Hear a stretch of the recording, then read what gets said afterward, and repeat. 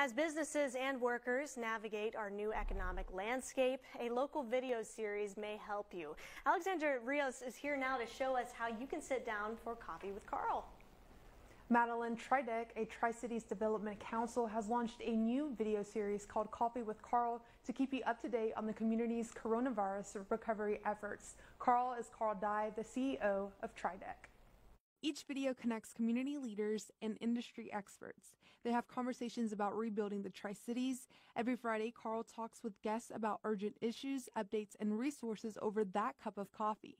Tridec's team has daily check ins with each other to see what they're working on, plans for the day, and ideas for new things to try. The whole concept of Coffee with Karl came from one of those check ins. It was really just um, an effort for us to bring people together, community leaders especially, and hear relevant information about, uh, especially now in COVID times, what's going on, uh, what are some things that everybody needs to know and get a little bit deeper on some of the subjects that people have questions about. Dye says they hope people will get answers to questions that they have not found a good source for. A lot of times, I think the health district's are a great example. We've had the health district and folks from the health district on a couple times. One recent video focused on that.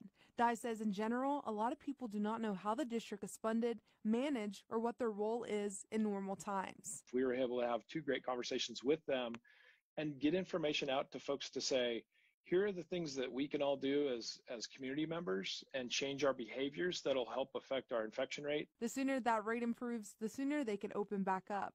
Dye told me the video series is intended to be a platform for connecting the community. Generally, our audience is, is uh, business leaders that are like our members and board members, but then we're trying to expand into that greater community. During the live video series, if people have questions, they can submit them. And really, one question leads to another one, and that's really how we try to have good conversations. The next Coffee with Karl is scheduled for tomorrow at 9 a.m. The conversation will be about what things we can all do in our daily lives to help get the counties back to open.